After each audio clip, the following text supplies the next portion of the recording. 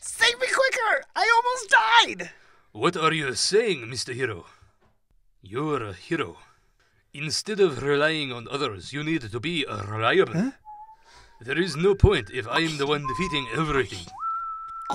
Wait, does that mean mixing medicine into my breakfast and hiding razor blades in my blanket were all for my growth? No, those are my hobbies. A long time ago, the fake panda's neck was very short. At that time, the plants they fed on grew up to the height of their face. However, one day there was a big fire at their forest. The fire burned and destroyed all the plants they fed on. Indeed, because of this fire, they were forced to extend their necks as a means of evolution.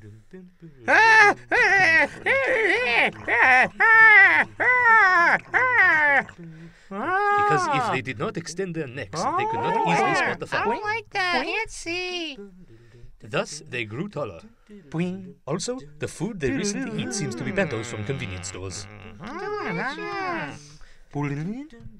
A long time ago, the fake panda had long ears. Ah. Ah. Thanks to ears, the fake panda could detect danger before it actually happened. Huh? Ah. The reason their ears got smaller was because they didn't need them anymore. Actually, it was just a pain to draw the ears. Ah. That surprised me.